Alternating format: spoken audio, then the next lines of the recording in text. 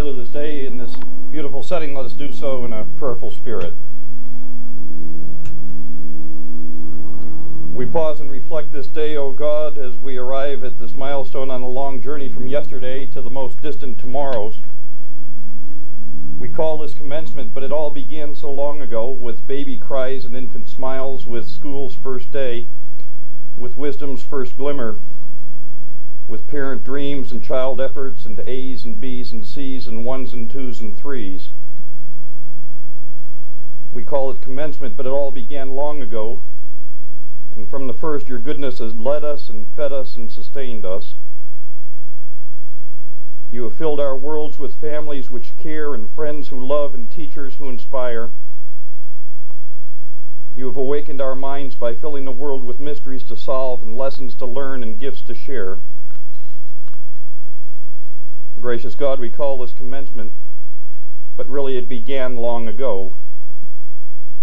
And it is this very truth that you have been with us from the very beginning, which allows us to gather together today and to step forward to tomorrow with confidence and safety and trust. Oh God, we see the signs of your presence in the brightness of this day and in the brightness of those who gather here. Recognizing your presence, allow us to truly rejoice. Amen.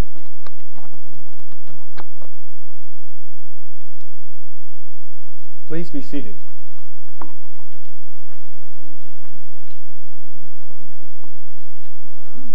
There are some remaining seats uh, behind the faculty uh, for those of you who wish to take them. I would like to take a moment to thank uh, Reggie Hall, the class of middle school 1990, for piping us in today, and he will also pipe us out. It's great to have Reggie back.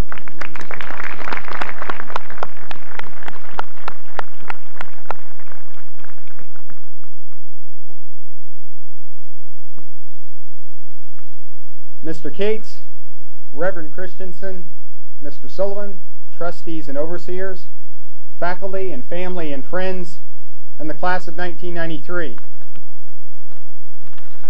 One of the few important pleasures of a headmaster is the presentation of a graduating class. The class of 1993 offers special opportunities and special memories. I spoke in the fall at convocation about the quality which I believe uh, most makes us human, our potential to write, create our own history. Each class at Berwick, now numbering 202 on this day, has written its history. Each class creates a legacy. Each class enriches the heritage that is Berwick and will continue to be Berwick. Clear as all of that is, it is still difficult on occasion to identify the heritage or the history of a particular class. Not so this year, not so this June morning, and not so for the class of 1993. Sarah stole my line last night. I will remember today's senior class as family. I will remember today's senior class as a community of sharers. It was a, its was a rare ethic of quiet generosity. I was struck last night by the course's rendition of Somos el Barco. What an appropriate anthem for the class of 1993. We are the boat, we are the sea. The stream, I sail in you, you sail in me. The stream sings it to the river, the river sings it to the sea, the sea sings it to the boat that carries you and me. The boat we are sailing in was built by many hands. The sea we are sailing on touches every sand. I started understanding this family quality, this sharing quality, last spring in the middle of the uh, student body elections. The five candidates selected by that ballot came into me and petitioned that no one be the student body president. I was dumbfounded. They went on to say they did not need a student body president and that uh, they did not want a student body president. The office could be shared by all five. The boat we are sailing in was built by many hands indeed. A little later, the class's uh, proposal on senior projects was not at all what we expected. The faculty and I had anticipated individual efforts, apprenticeships, internships. The class wanted to all join together in a single project. We had anticipated apprenticeships or studying career areas. The class wanted to design a project to improve the academy. That same sharing spirit was evident three days ago on the senior run on the field behind us. 25 runners, 515 laps, more than two times the challenge. I still haven't had the courage to telephone the trustees who made that original challenge. I might suddenly find myself graduating with you. The strangely wonderful thing about sharing, about family, is that it enriches everyone. Giving, as we learned very early in our lives, giving is getting and getting is giving. The frustratingly difficult thing about sharing is how hard it is to sustain. Even the best hardest, hearted of us seem to pick our times and places. The class of 1993 showed unusual consistency. In fact, as outstanding as its individual accomplishments are, I am more struck by the constancy of the class. Perhaps those lifers, Hava, Lori, Ryan, and Jeremy, provided the class with some mystic staying quality. In any case, day by day, to borrow the title of another of the year's choral selections, day by day, the class of 1993 was family, sharing its time and talents with one another and with all of us on the hilltop. Day by day. The class brought its intellectual talents, its considerable intellectual talents, to the hilltop. Bill Dogan was a National Merit finalist and Josh, Brad, Alec, and Chad were National Merit Commended Scholars. Beth, Emily, and Joanne were inducted into the Spanish Honor Society. Brad, Bill Dogan, Chad, Alec, Mindy, Danielle, Sarah, Karen, Matt Bromley, and Adam Roberts were inducted into the French Honor Society. Three of that number, Bill, Alec, and Chad, three of that number scored first, third, and sixth in the state of Maine in the Level 5 French exam. Our cum laude scholar, scholars are Brad, Bill Dogan, Hava, Joanne, Chad, Adam Roberts, Alec, and Joe. And what an honor roll that is. What an amazing list of accomplishments and talents. But what was more important to me personally was the intellectual respect the whole class showed one another. My, uh, one of my favorite moments was a morning assembly when Chad uh, got up in front of us all with no announcement or warning to share an idea, and the class shared it with him. I would quote Chad The scientist does not study nature because it is useful, he studies it because he delights in it, and he delights in it because it is beautiful. If nature were not beautiful, it would not be worth knowing. It would, and if nature were not worth knowing, life would not be worth living. We are all the scientists. Indeed, we are the boat, we are the sea, we are the scientist, day by day. The class of 1993 also built an astonishing athletic record and shared those trials and those triumphs with us. Think of our MVPs Beth in soccer and basketball, Matt Janest in hockey, Steve in cross country, Dave and Sarah in lacrosse, Jesse in baseball, I think an entire soccer team. Or consider our three sport four year Bulldogs Sarah, Lucas, Jesse, Jeremy, and Matt. How many times did they don the blue and white to represent Berwick? How much better were we? How much better are we for their constancy? Day by day. The class created a set of memories which will long remain a part of the lore of Berwick's athletics. Sarah, an ASGA All-Star, in goal, in goal, all the way to the national competitions as a starting goalie for New England. Brad and Steve, Eastern League All-Stars, long-legged and long-striding, leading the cross-country team. And I might add, a couple of days ago, completely humbling a headmaster in the senior run. Lori and her famous three-set tennis matches, and her knack for winning them. Jeremy and his love of the battle, love of the chase, and the 100 plus points he scored in his lacrosse career. Matt's long home run right where all of you stand, matching the mark set a number of years ago by his brother, a mark not matched by any player between the two brothers. Jesse behind the plate, winning the honor of the Eastern League's Covey MVP and the NEPSAC tournament MVP. Day by day, great memories. Teams left the hilltop to represent Berwick in tournaments. Beth, Laurie, and Danielle for the ASGA tennis tournament. Dave, Jeremy, Evan, Chris, Lucas, Gary, and Joel to the NEPSAC lacrosse tournament. Was it my imagination or was that Ryan's best game ever? The men's soccer team. Josh, Gary, Jesse, Evan, Alec, Joel, Matt Janest, Jeremy, David, Dag, Chris, and Adam Mitchell.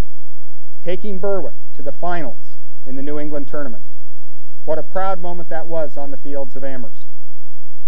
The baseball team, led by Matt and Jesse, repeating, repeating as New England champions after starting the season with three losses and after putting Mr. Libby in a near state of cardiac arrest. Day by day. The class of 1993 also shared its considerable artistic talents. Melissa returned from Australia to enrich the dance program. We were never sure when Matt Bromley would appear with his saxophone, but we always welcomed the moment. And what about a strip canoe that was made a few weeks ago? Xerxes with Adam, Joel, and Alec simply got better and better and better day by day. And in the spirit of their class, those three young men kept appearing to share their talents in other settings, in other productions, with other audiences, from the middle school play to the senior art show. Also, in the same spirit of family, more than half of the class joined in the production of Little Abner. What memories they provided. Hava, Lori, Beth, and Danielle singing Put 'em Back. Matt and Adam flexing as the much improved husbands.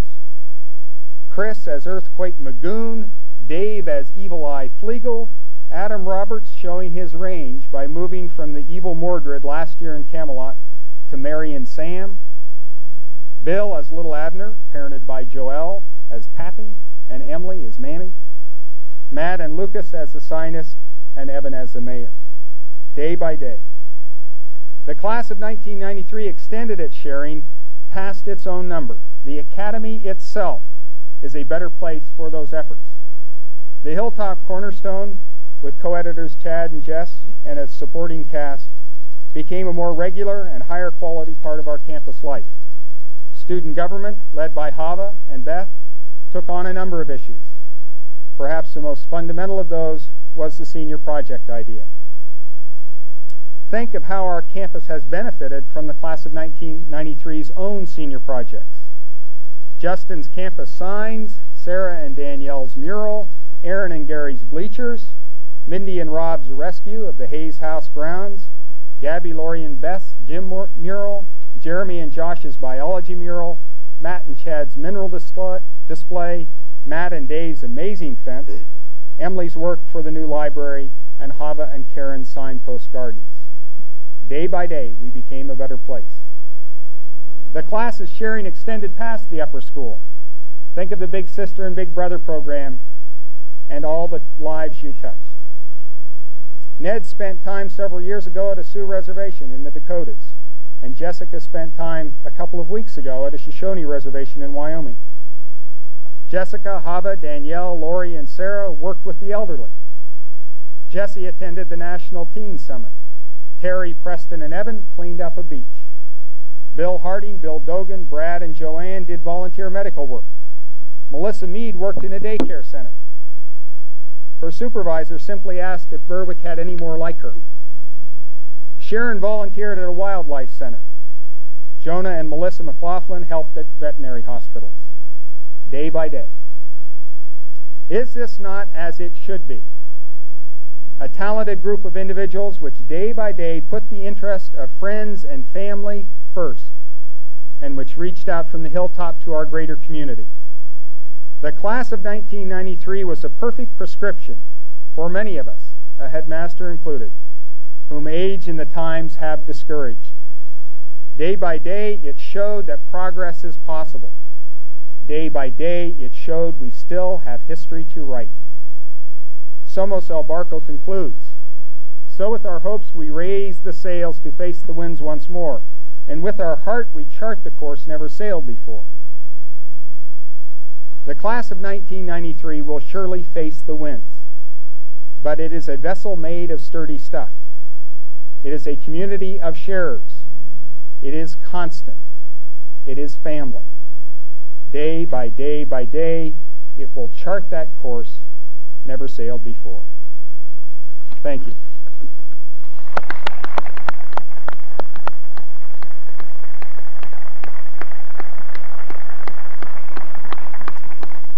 There was going to be an ad lib presentation at this point on the Mean Teacher Award, and the award did not arrive. But for the record, Mr. Hawks has garnered that honor yet one more year.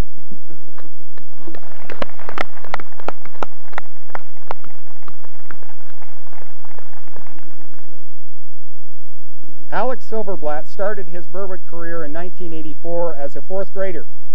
That does not exactly qualify him as a lifer, uh, but he got awfully close. His academic accomplishments include his induction into both the French Honor Society and the Cum Laude Society. He was a commended scholar in the National Merit Competition. Alec has graced the Academy with his musical talents as a member of the band Xerxes, as a member of the jazz ensemble, and on any number of other occasions when he volunteered to support theatrical presentations and other events. He played varsity soccer and was a member of that fabled team in the fall. September will find Alec attending Oberlin College. It gives me great pleasure to introduce the salutatorian for the class of 1993, Alec Silverblatt.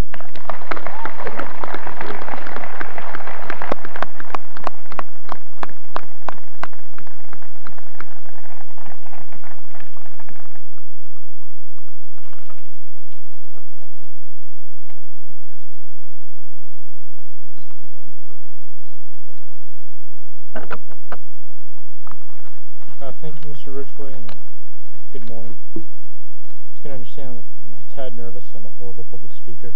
Um, never spoken before. Here we go. Um, in a recent 1791 letter home, Mr. Ridgway uh, commented on perhaps the defining characteristic of my generation, um, saying that our generation lacks hope. The letter read in part, One of the interesting things about our youth is that they are less surprised and offended by gridlock than we are. They possess few hopes, so they suffer fewer disappointments. Their revolution of lower expectations is confirmed by the deteriorating job market. They do not expect a better life than ours. They do not dream of a better life for their children. I read that, looked at it a little bit, and said, yeah, that's right. Things suck now. They're going to suck in the future. But as many of you know, I'm the cynic, and of course I'm going to say something like that. And I talked it over with my father, and he said, "I'm really sorry that you are a cynic and you feel like that. Don't you? I mean, why why are you going to go to why do you why are you going to bother going to college if if things are going to be lousy in the future?" And I sat and thought on that for a while and decided that yes, the world is not in great shape right now, and my efforts probably will not have a great effect on the world, but I'm going to do my damnedest to improve my own life, to make things better for myself, to go to the plate for me, and if in doing so I benefit the world around me, then that is good, and I've improved the world. But I don't think that I can make a positive effect, on, positive, excuse me, make a positive contribution to the world until I've made a po positive contribution to myself. I sort of comparing it, compare it to building a house. Um, when you start with a house, you start with the foundation, and you make sure the foundation's set. After that, you go on to framing frame it, put the walls up, you put the roof up. Step, you do it step by step. Where's Mr. Said day by day, one bit at a time.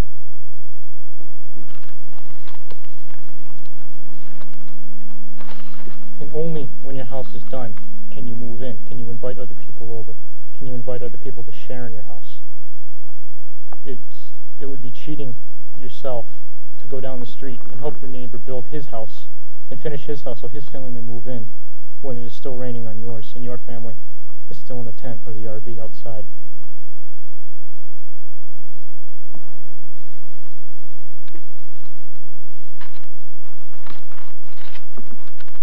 Another part of Mr. Ridgway's letter. read,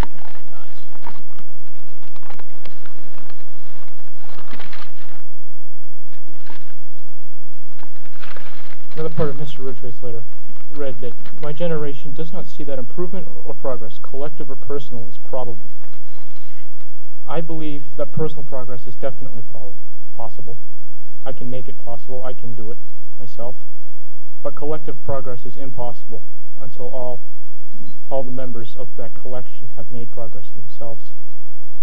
Everyone must build their house and build it well, step by step, before the neighborhood can be created.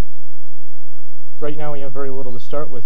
You have a hole in the ground, you have some concrete, ready-mix concrete lying around, and a lift of 2x4s. We can garner materials, we have the potential, we can build a house, but we must take our time to build it, build it, build it well, make sure it stands up, and then when our house is built, we may look to our neighbors and aid them. Then when our houses are built, we may look to more people to come join us, and then the neighborhood is created, and then the town. And in this way, collective progress can be attained. But to repeat, I do believe that we must concentrate on our own houses first, build up our houses, make sure they stand, and then our houses will form a neighborhood. Thank you.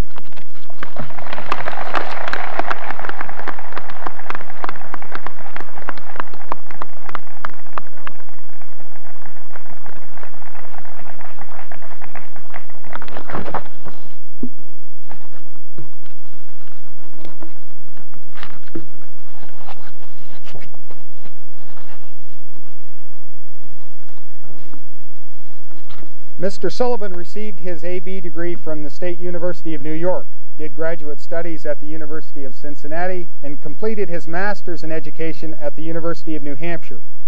He joined Berwick's faculty in 1974. He has served the Academy in a number of capacities, from Latin instructor to history instructor, and from head of the history department to the dean of students. Mr. Sullivan's passion for history, even if it is old history, is matched by a great deal of courage, which he tests on a daily basis in town government as the chair of the water district. Mr. Sullivan may have done his most memorable and honorable service as a class advisor for the class of 1993.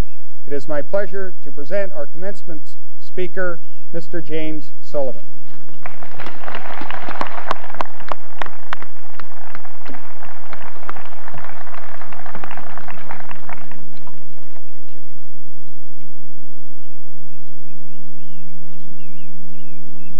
President Cates, Headmaster Ridgway, Reverend Christensen, trustees, overseers, alumni, faculty, parents, friends, and most importantly, members of the class of 1993. Several weeks ago, when I asked Beth for the umpteenth time what arrangements that she and Hava were making for a commencement speaker, she looked me in the eye and asked if I would speak at your graduation. Now that request caught me completely by surprise and somewhat speechless. Those of you who know me understand that I am rarely at a loss for words, and my response to her was, Are you sure that you and the class want me to speak? She assured me that I most definitely was the class's choice, and I agreed to speak this morning.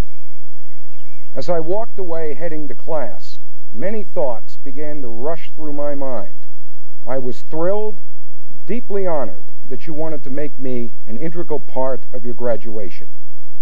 Visions of many previous graduations and senior classes, the three classes I advised who precede you here, other commencement addresses and speakers, and finally the work I've been very privileged to do with you in the last four years all came flooding back. In many ways, we end our journey as we began it, with me as the speaker, except that today you are the centerpiece, the reason we gather together as we celebrate your accomplishments. We gather not for me to begin you as a young and somewhat nervous freshman on your journey, but to honor you, to bring a fitting and well-earned closure to one chapter of your life here as members of this community. As those thoughts filtered through my mind that day, two other thoughts also occurred to me.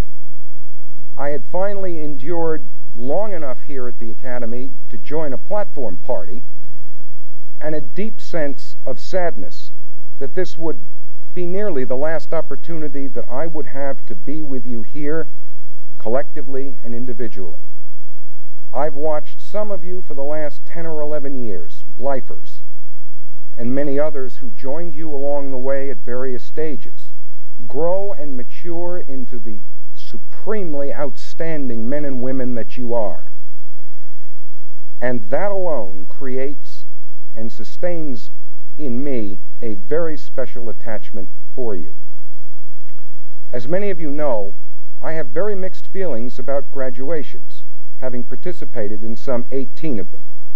On the one hand, I rejoice in your achievements, individually, collectively, your enthusiasm, your willingness to accept the responsibilities of leadership of the student body, your pioneering of senior projects, which is a legacy which will long outlive you. On the other hand, I feel a very deep sense of sadness at your leaving. I shall look in vain for familiar faces in September, and I do not know when I shall see them again. The winds of fortune, chance, opportunity will scatter you in a myriad of directions, while we who remain here continue to work with other classes. It has always been a paradox for me that while I grew older, greater in girth, lighter on top, my students have always remained the same, continually challenging me and enlivening each day. I have discovered, with their help, that I am far less certain about what I know and far more certain that I know less than I think I do. I become more convinced as time passes that you have taught me far more than I could ever have taught you. I have been amazed continually by you. I rejoice in your challenging, your willingness to do that, your challenging of what is accepted, your use of that simple interrogative, why? Returning alumni, and I certainly hope very deeply that in the years to come you will you will return. They often look at me and they ask, Are you ever going to look any different? You look the same as you did 10 years ago. My response is that education either burns you out quickly or keeps you young forever. Indeed, you have helped to keep me young forever, to keep my mind lively, and I thank you for that. As that day wore on, it dawned on me with a growing sense of unease that I would have to choose a topic around which to build a speech. I thought, what am I possibly going to say to these graduates? What profound truth, what culminating advice have I to offer you at this stage? Do I tell you that this day marks a rite of passage for you to adulthood?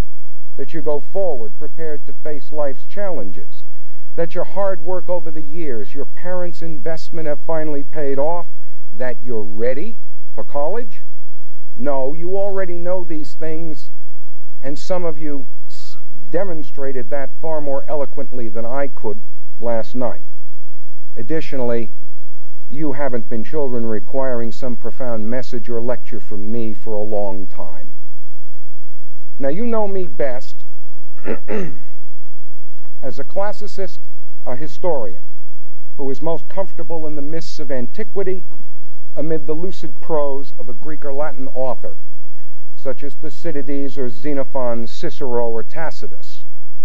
And quite often, when I need to clear my mind so I can concentrate on some task, I turn to Cicero. And so it was when I needed a topic for this morning. Cicero once wrote, History is the witness of the times, the torch of truth, the life of memory, the teacher of life, the messenger of antiquity, the transmitter of the values and the lessons of civilization. In that short sentence, Cicero summed up the function and the message of history, and within a broader context, the function of all education. History illuminates the past, it makes the present comprehensible, and the future visible. As such, if we are willing to examine it, history provides us a benchmark of our conduct and our progress as human beings, enabling us to avoid the mistakes of the past, to emulate our successes. This morning, I would like to touch upon some events in the past in the hope that they will cause you to consider deeply some very disturbing current trends. There is abroad in this country today an ill wind blowing with ever increasing fury through nearly every segment of society, a wind which touches us all and one we cannot ignore.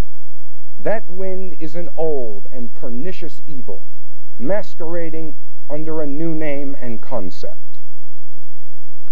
Forty years ago, the term employed was McCarthyism, when throughout this land in schools and universities, as a condition of employment, individuals were compelled to sign loyalty oaths.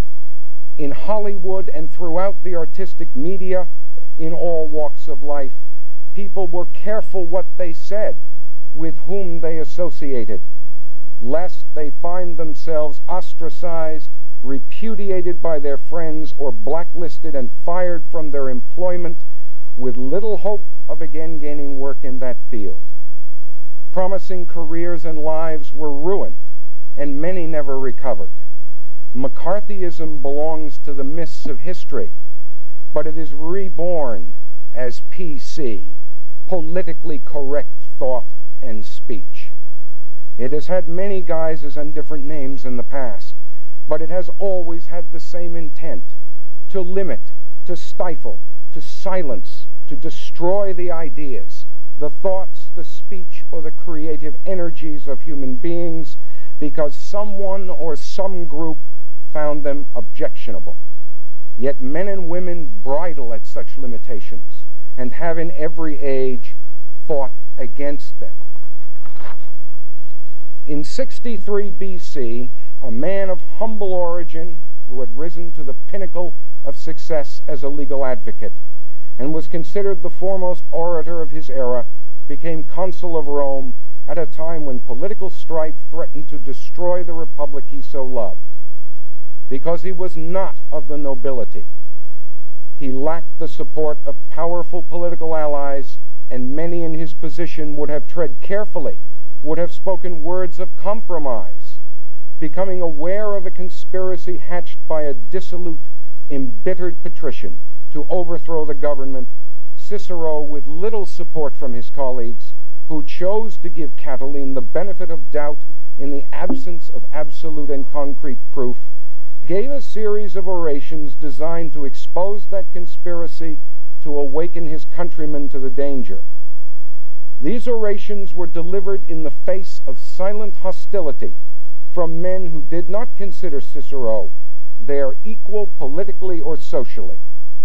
In the course of these orations, Cicero exposed Catiline's conspiracy, won the respect and the gratitude of his colleagues, his fellow citizens, and was hailed as the father of his country, the savior of the republic.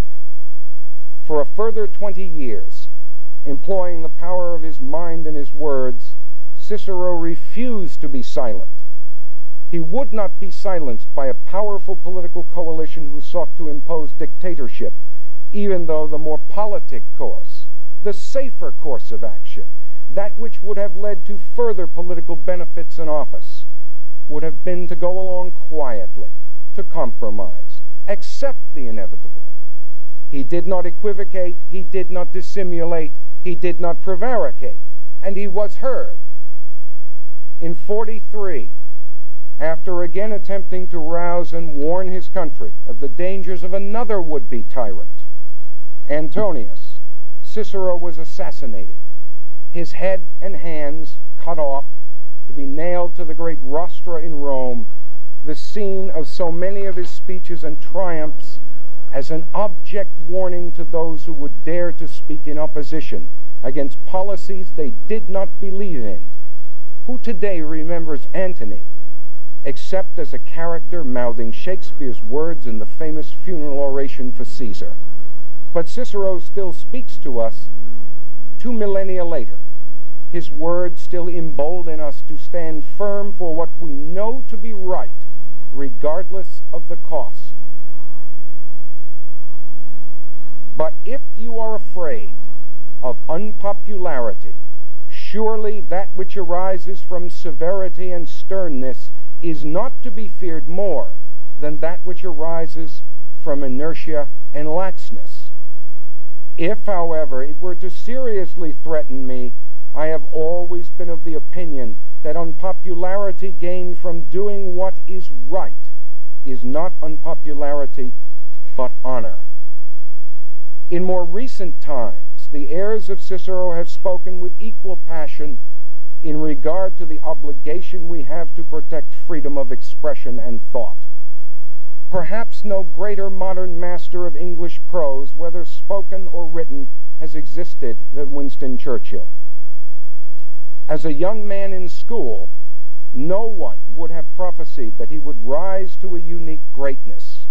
His masters considered him slow, a dullard, who would amount to very little because he could not master Greek or Latin.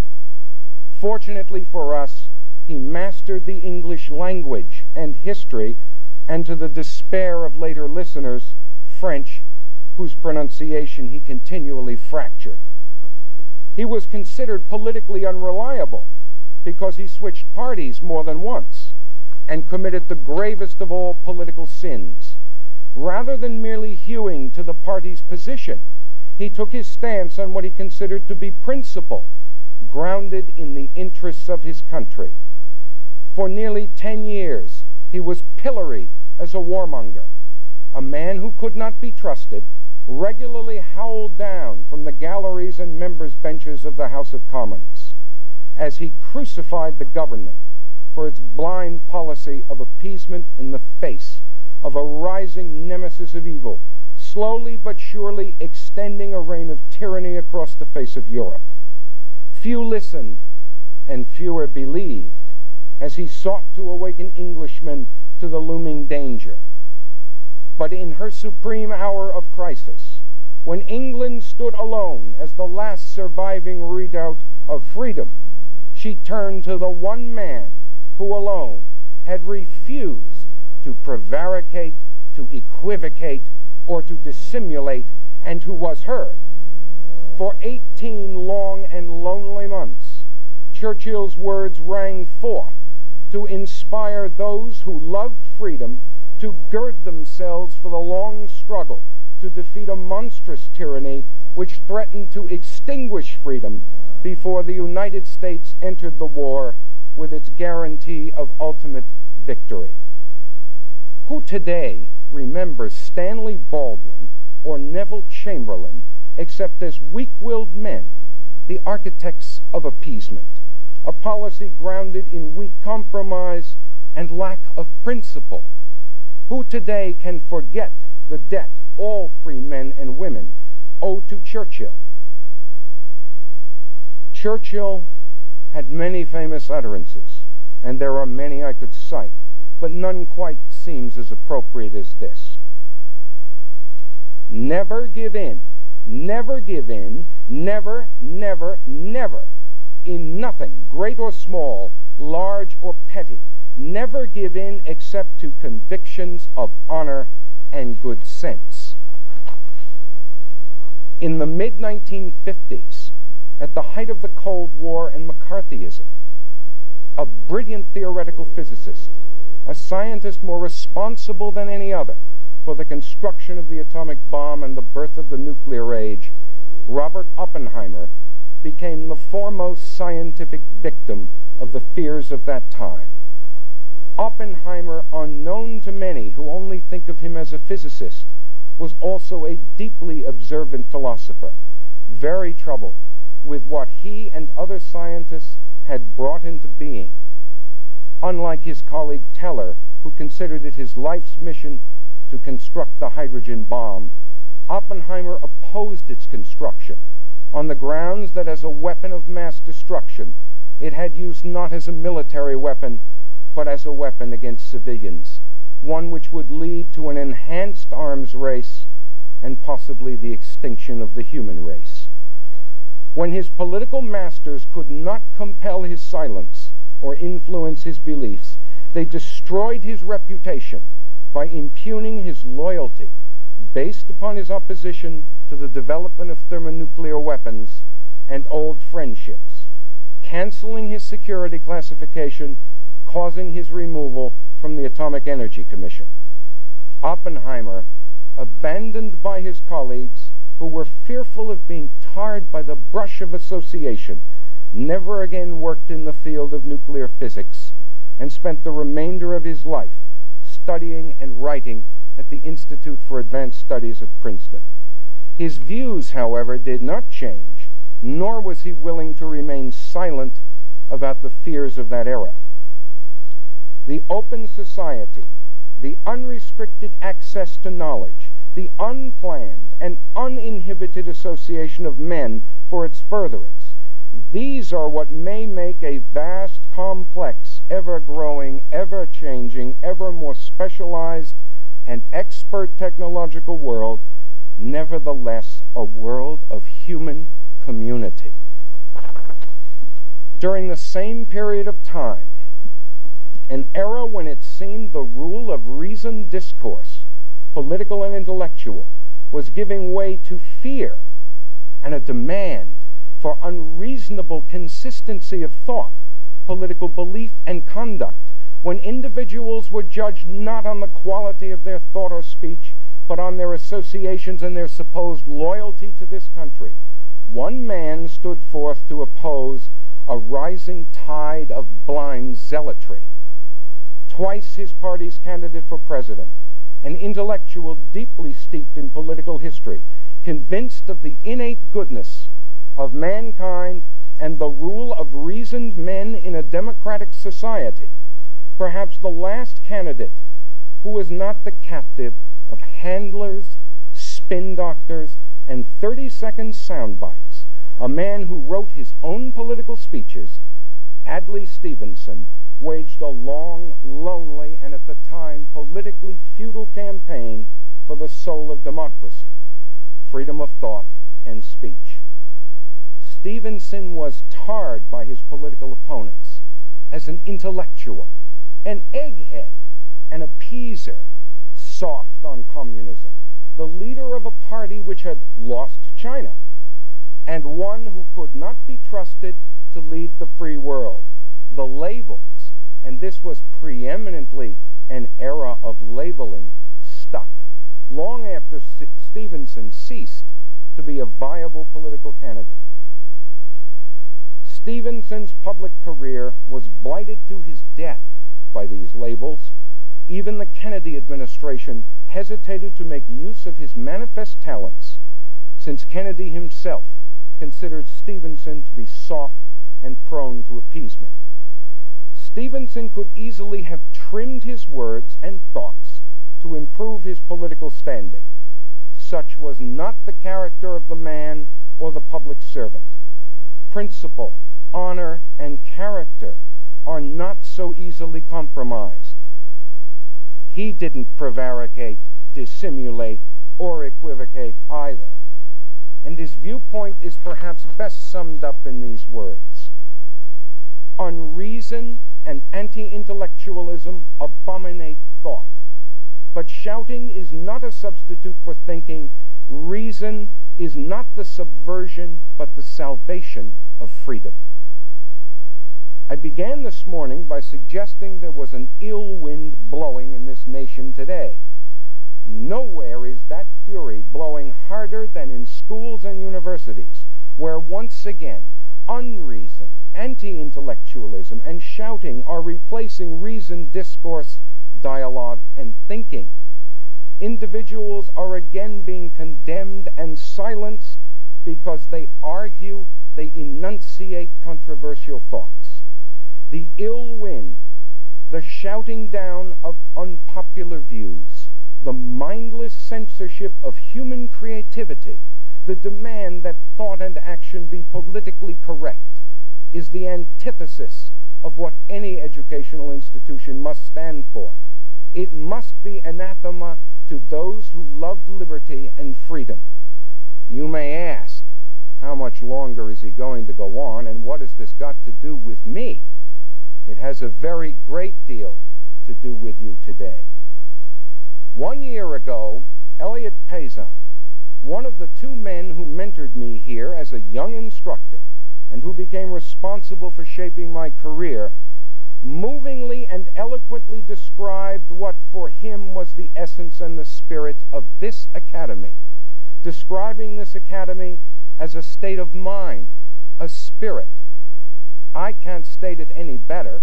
I certainly can't state it as eloquently as those of you who did last night in music and in speech during the baccalaureate service. Spirit here is more than the acquisition of facts in a vacuum. It is more than mere intellectual preparation for life that spirit also encompasses a willingness to listen to the opinions and the thoughts of others with an open mind, to disagree with those opinions judiciously and on their merits, to argue positions and thoughts on the basis of reason rather than passion, to base your opinions and conclusions on reasoned and rational discourse. It is these principles which I and my colleagues have tried to inculcate to instill in you. Above all else, we have sought to develop in you a spirit of innate respect for divergent opinion, in the belief that though a thought, an opinion, a point of view, a work of art, a piece of music, may be one we do not agree with, nor personally like, but it has a right to be heard, to be produced, a right to rise or fall on its merits alone. I believe we have succeeded. In the years to come, you will be tested. You will find yourselves in situations where a howling majority or minority will attempt to silence you or someone else who articulates a viewpoint which is considered incorrect. It is my hope that you will not be silenced, you will not prevaricate, you will not dissimulate, you will not equivocate. Rather, you will rise to defend your own or another's point of view, their right and yours to think aloud, to be heard. For if you do not, if you remain silent, if you, remain, if you allow another to be silenced because of an unpopular viewpoint, if you bend and twist and dissemble, if you compromise conscience, principle, and belief, then upon what issue can you or will you stand? Each of us must decide for ourselves those issues of conscience and principles upon which we make our stand. The Greek historian Polybius, who well chronicled the hubris of Roman political leadership in his era, wrote, There is no witness so dreadful, no accuser so terrible, as the conscience that dwells in the heart of every man. You go forth from this academy to join the ranks of 200 years of alumni who have preceded you as part of a legacy from this institution to the nation she is nearly as old as. There are those who confuse tradition and principle with sheer and mindless consistency of thought. Those who presently argue from a position of political correctness have forgotten some sage words of advice from Emerson. A foolish consistency is the hobgoblin of little minds, adored by little statesmen and philosophers and divines. With consistency, a great soul has simply nothing to do. Speak what you think today in hard words, and tomorrow speak what tomorrow thinks in hard words again though it contradict everything you said today. These are times which demand hard words and consistency of spirit, the liberty of thought and speech, the ability to exercise that freedom is no mere philosophical construct to be left to the realm of little minds in esoteric debate. In every age, liberty has been sought, defended, and died for as the concrete fulfillment of the soaring spirit of the human mind and human creativity. Perhaps here, in this nation which was founded on that very principle of liberty, we too often take for granted and we give too little thought, not only to the ancient meaning, but also to the nurturing and defense of that liberty encompassed in the First Amendment. Liberty assumed as a given, liberty unexercised, liberty unprotected and not zealously defended, is liberty endangered and liberty ultimately lost. You, collectively and individually, have demonstrated in so many ways, in so many arenas, that you have absorbed, you do possess the true spirit of this academy. I have no doubt that you are among the finest men and women we have to offer the world beyond this hilltop. I salute you, I honor you. Go forth from this place and this time secure in the knowledge that there is nothing you cannot achieve, nothing you cannot encompass, possessing minds and a spirit buttressed by principle, conscience, and honor, minds not closed but open to the challenges which await you. Thank you.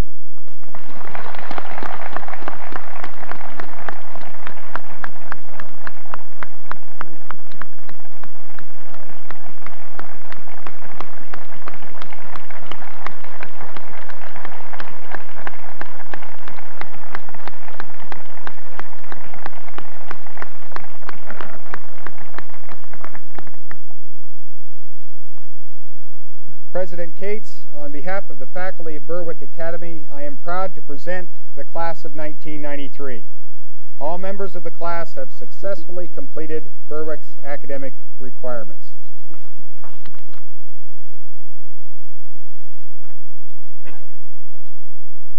Bradford, Bradford Thomas Adams.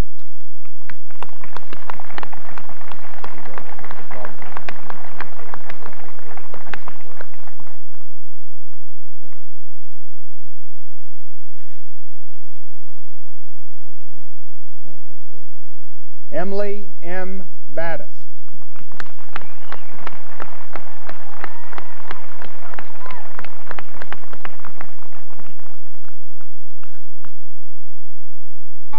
Sharon P. Bemis.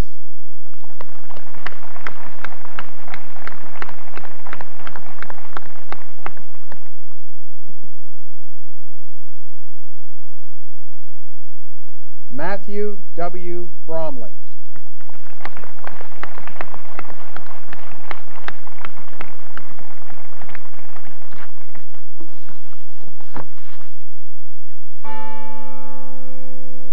Christopher Michael Brooks.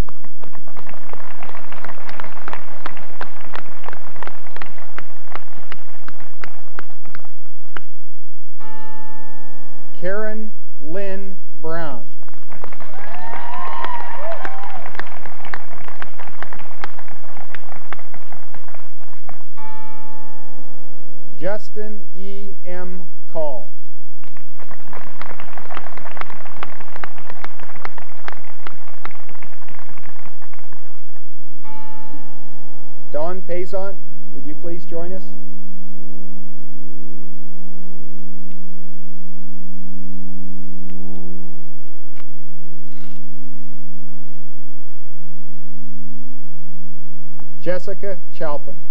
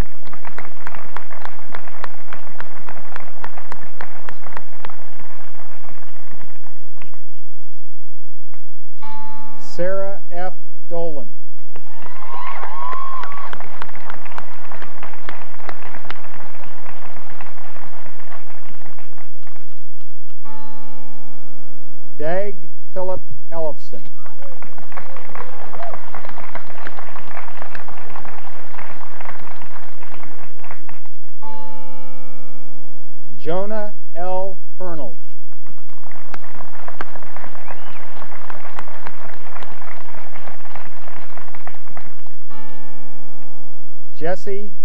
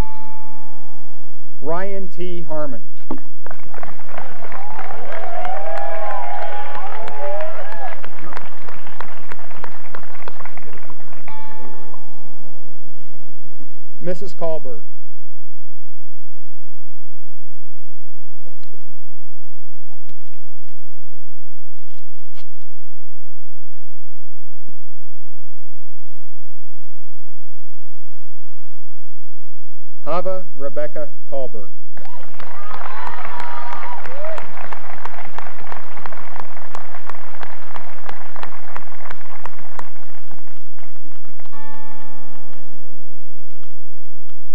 Stephen G. Cron.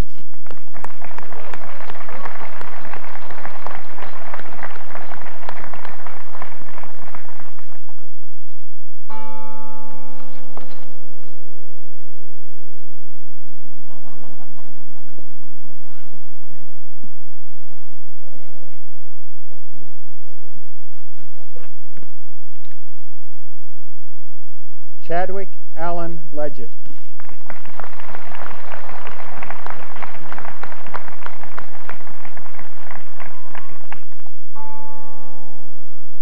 Evan Lewis.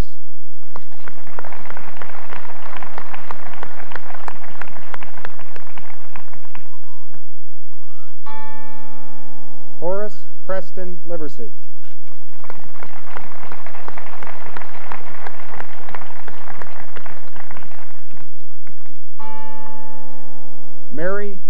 McLaughlin.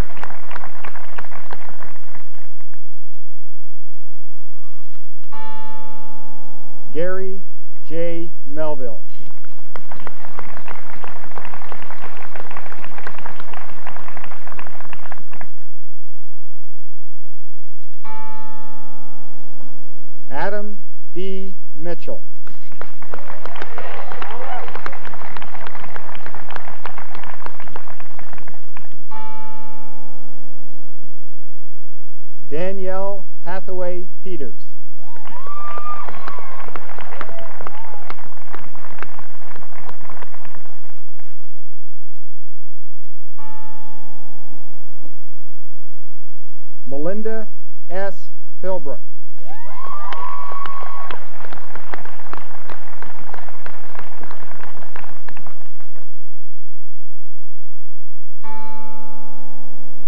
Adam W. Roberts.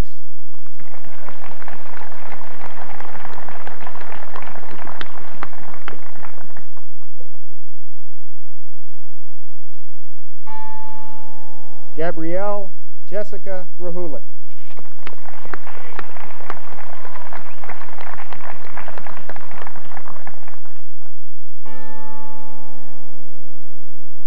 Kevin Joshua Scott.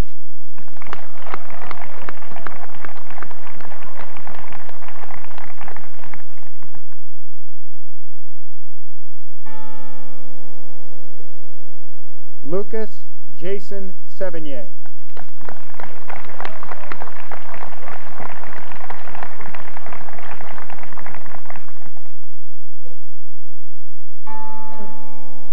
Elizabeth Ann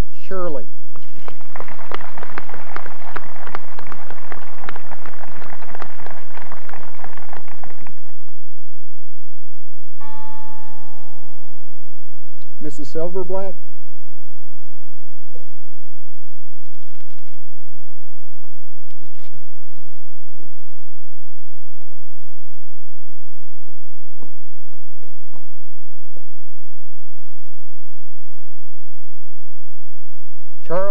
Alexander Silverblatt.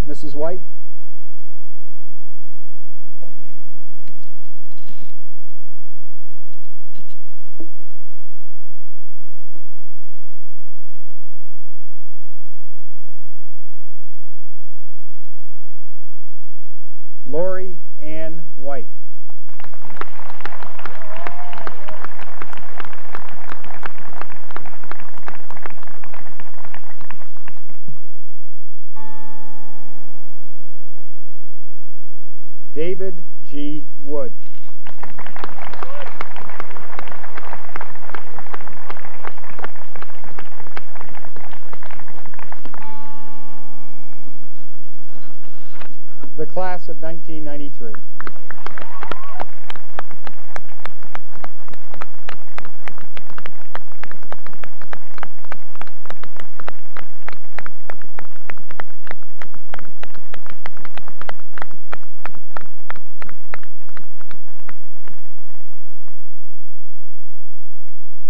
The Cogswell Gold Medal is awarded to the Academy's valedictorian.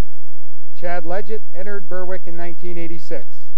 His academic career is the stuff of legend, including memberships in the French Honor Society, the Cum Laude Society, and the Commended Scholar recognition in the National Merit Competition. He was the first student representative on the academic committee, and he served as co-editor of the Hilltop Cornerstone. Chad has played varsity tennis for three years and was co-captain of that team this year. The fall will find Chad moving west, far west, to attend Stanford University. It is my honor to present the Cogswell Gold Medal winner and the valedictorian of the class of 1993, Chad Leggett.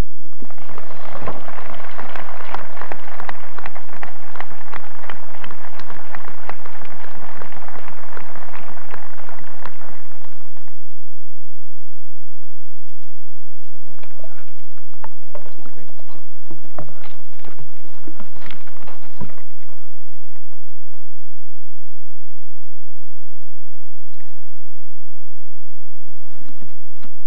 Good morning. Mr. Keats, Mr. Ridgway, Reverend Christensen, friends, faculty, class of 1993. As our ancestors refined their perception of time, they developed a calendar. And although we use this calendar to plan our future, the future remains unwritten until it becomes the present and we write it. We will never foresee every twist in our lives. But then, what would life be without the challenge of dealing with the unexpected?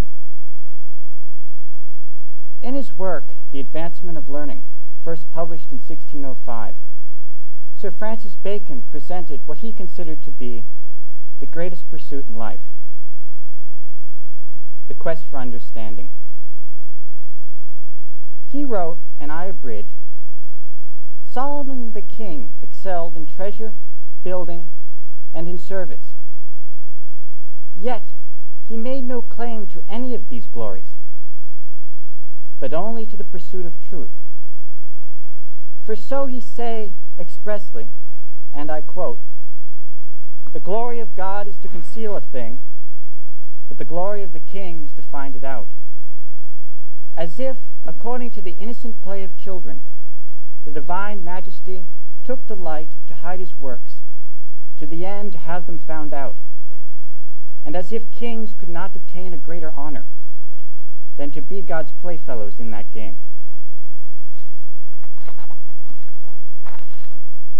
We became God's playfellows the moment we asked our first question. Our realizations from the hours we have spent pondering our existence are pursuing an interest, playing music, climbing a mountain, reading a novel, watching the clouds drift by, listening to the chorus of birds building with the coming dawn, following a falling star, are all part of our discovery of the universe, all part of this greatest game. Our studies at Berwick Academy have heightened our ability to observe and question what surrounds us. And it is our ability to observe and to question that enables us to better comprehend the world, ourselves, and each other. In the words of Bill Cosby, the greatest part of life is meeting someone you would like to meet again. Our relationships with other people are not only as important in our lives as the search for understanding, but complement the search as well.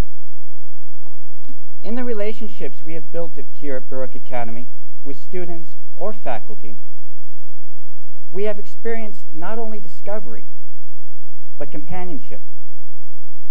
Our pleasure comes from sharing discovery with someone else. Here at Berwick, we have met and worked with someone we would like to see again.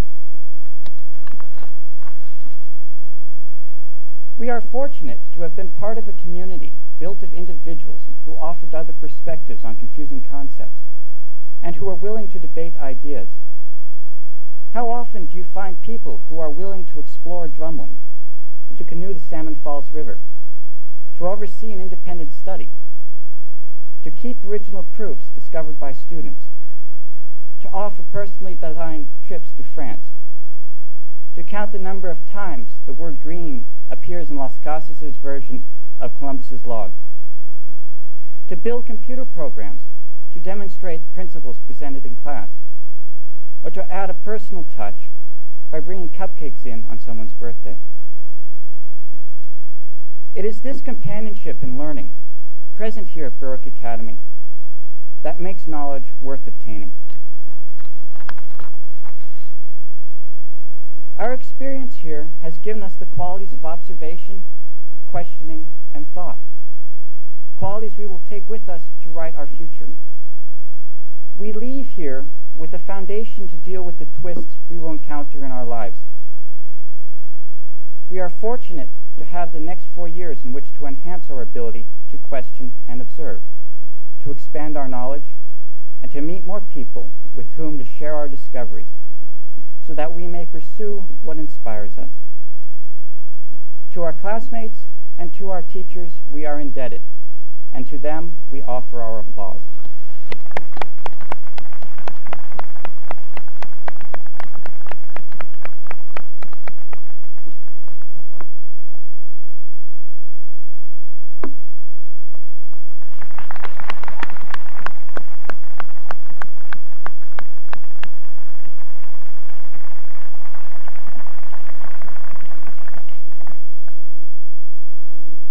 After the recessional, the class of 1993 will form a receiving line back on the field. Uh, we encourage you to use that opportunity to meet and, and congratulate all the members of the class. After that, we have a uh, reception and buffet over in the Commons and we uh, greet you all there uh, to uh, go on with the uh, day's celebration. Uh, for now, uh, thanks uh, to Reggie, and will you all please stay seated while Reverend Christensen offers the benediction, and play, please stay seated during the recessional so that we can all share in it.